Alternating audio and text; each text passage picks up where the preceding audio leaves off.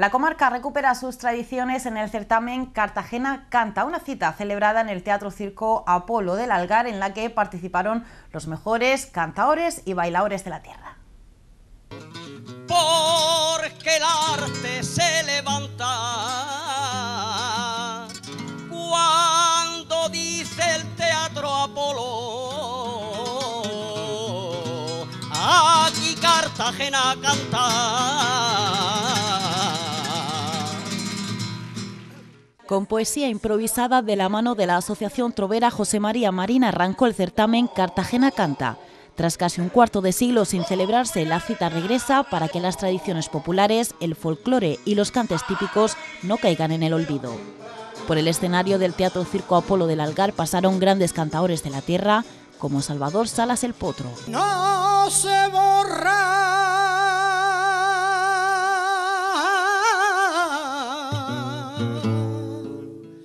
También estuvo Antonio Ayala el Rampa, acompañado de la guitarra de Manuel León.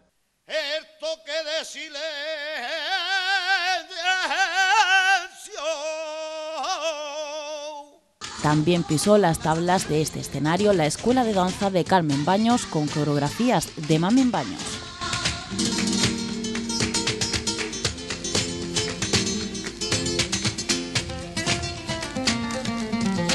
La canción española de la mano de María José Lorente también estuvo presente en la fiesta de las tradiciones cartageneras.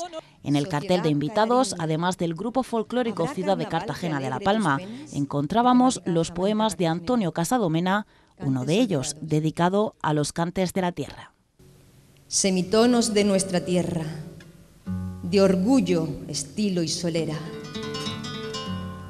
Tradición oral sepultada en la sierra minera el rojo y la peñaranda cantaron por cartageneras.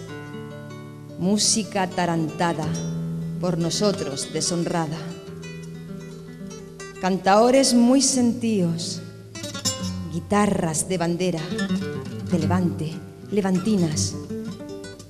Acordes en fa invertido que ya no saben a Cartagena. Y desde el cielo sollozan este drama Carmen Conde y Piñana, por ver sus cantes perderse como caverneras desorientadas.